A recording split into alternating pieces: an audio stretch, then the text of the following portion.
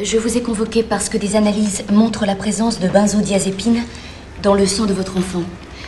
Une molécule généralement contenue dans des somnifères réservés aux adultes. Et bien sûr extrêmement toxique pour un bébé de 8 mois. Ma cliente nie absolument avoir administré un tel produit à son enfant. J'ai ici la déposition du pédiatre qui a effectué le signalement à la DAS. Vous l'aviez consulté parce que votre bébé ne dormait pas la nuit. Selon ce médecin, vous n'en pouviez plus. Voyant votre état, il a même proposé de vous orienter vers un collègue pour vous aider. Un témoignage qui ne parle guère en votre faveur. Écoutez, euh, j'ai un boulot qui est pas facile. hein. Tenir une caisse, euh, c'est loin d'être marrant. Les clients sont agressifs, pour eux on va jamais assez vite et euh, l'ambiance avec les collègues, c'est pas toujours ça. En plus, Chloé qui dort pas de la nuit. Moi j'étais à bout, c'est vrai. Mais ça me serait même pas venu à l'idée de lui donner des somnifères pour avoir la paix. Le fait que Madame Métral consulte un pédiatre parce que sa fille ne dormait plus atteste au contraire de sa bonne foi. Je ne vois pas en quoi. Si Christelle Métral droguait son enfant, elle n'aurait pas dû avoir de problème d'insomnie. Et en plus, en acceptant ses examens, une mère criminelle prend le risque d'être démasquée. Vous savez comme moi, maître, qu'il n'est pas rare que des mères coupables de mauvais traitements se dénoncent elles-mêmes indirectement en consultant un médecin. En tout cas, la seule chose qu'on peut affirmer aujourd'hui, analyse à l'appui, c'est que la petite Chloé a été droguée. Et maintenant, reste à savoir par qui. Je vous assure que ma cliente aussi aimerait avoir la réponse à cette question. Très bien, reprenons. Madame Métral, vous êtes divorcée, c'est bien ça Séparés. Votre mari a-t-il la garde conjointe de votre enfant Non. Il est parti sans laisser d'adresse, juste après la naissance de Chloé. Ça le met en tout cas hors de cause pour l'affaire qui nous occupe. Puis-je vous demander les raisons de cette séparation C'est votre premier Vous allez voir, l'arrivée d'un enfant, ça chamboule pas mal de choses dans la vie d'un couple. Reste la nourrice, madame la juge. L'enfant passait toute la journée chez elle. Madame Métral, auriez-vous des raisons de soupçonner Madame Sevran, votre nourrice, d'avoir drogué votre enfant? Non. J'avoue que j'aurais du mal à y croire. Elle est toujours pleine de bonnes intentions, toujours le sourire. Même quand il m'arrivait d'être un peu en retard pour aller récupérer Chloé. Et puis les enfants l'adorent. Mes deux mains coupées que jamais elle ferait de mal à un môme. Vous déclarez avoir une liaison occasionnelle? Oui, Fabrice. Il n'a rien à voir avec cette affaire. Si vous le permettez, ce sera à moi d'en juger. Arrivait-il à votre compagnon d'assurer seul la garde de l'enfant? Non, jamais. Il rentre tard le soir et repart tôt le matin. Tout ça pour mal gagner sa vie en plus. Enfin bon, au moins il travaille. Un bébé à cet âge, ça pleure beaucoup la nuit. Vous auriez pu vouloir calmer l'enfant pour partager quelques moments d'intimité avec votre nouvelle amie Vous croyez vraiment que j'aurais pu droguer mon enfant pour avoir la paix? Le travail de votre compagnon est apparemment exténuant.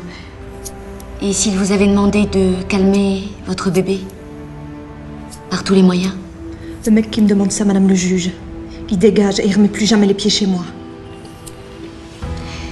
Madame Métral, prenez-vous vous-même des somnifères pour dormir Jamais. Et votre compagnon? Je sais pas, oui, peut-être. Il est chauffeur de taxi, Fabrice. Et vous imaginez pas la vie d'un taxi. Madame Métral, je vous signifie le placement provisoire de votre enfant à la DAS. Le temps que la police rende son rapport d'enquête. Ça veut dire que vous allez me retirer ma petite fille? Mais vous avez pas le droit de faire ça? Madame la juge, toute la vie de ma cliente est construite autour de, de son enfant. Elle s'est battue pour l'élever toute seule. Vous n'allez pas lui arracher son bébé sans aucune preuve tangible de sa culpabilité. Je crains de n'avoir pas d'autre choix dans l'immédiat. Je vous rappelle, maître, que votre cliente est soupçonnée de maltraitance. Mais elle n'est pas la seule à avoir pu administrer des somnifères à son enfant. L'enquête le déterminera. En attendant, cette mesure conservatoire mettra l'enfant à l'abri d'un mauvais traitement qui ne peut venir que de son entourage. Madame Sevran, vous avez sans doute une petite idée de la raison pour laquelle j'ai voulu vous entendre. C'est en rapport avec le retrait de Chloé à sa mère, je suppose. Souhaiteriez-vous nous dire quelque chose euh, spontanément Franchement, madame le juge, euh, je vois pas ce que je pourrais vous dire. Christelle est une fille gentille. Je l'aurais jamais cru capable de faire une chose pareille. Maintenant, c'est vrai qu'elle n'avait pas une vie facile. Élever seule un enfant quand on travaille, bon, c'est pas une excuse pour droguer son bébé, c'est sûr. Enfin, j'espère au moins que le bébé aura pas de séquelles. Madame Sevran, des analyses pratiquées sur un autre enfant que vous gardez ont révélé qu'il avait lui aussi absorbé des somnifères. Seriez-vous spécialisée dans la garde d'enfants euh, drogués par leurs parents? Je comprends pas. Comment est-ce que vous avez pu faire ça à Chloé?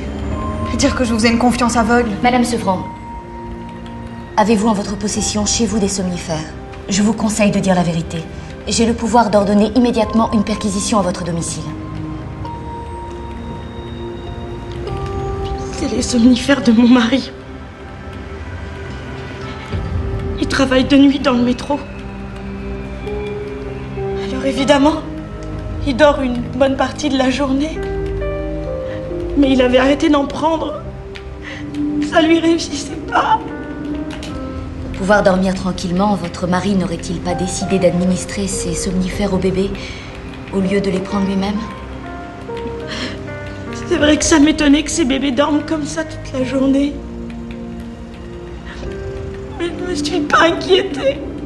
Bien. Je crois que nous reprendrons cette conversation en présence de votre avocat, Madame Sevran.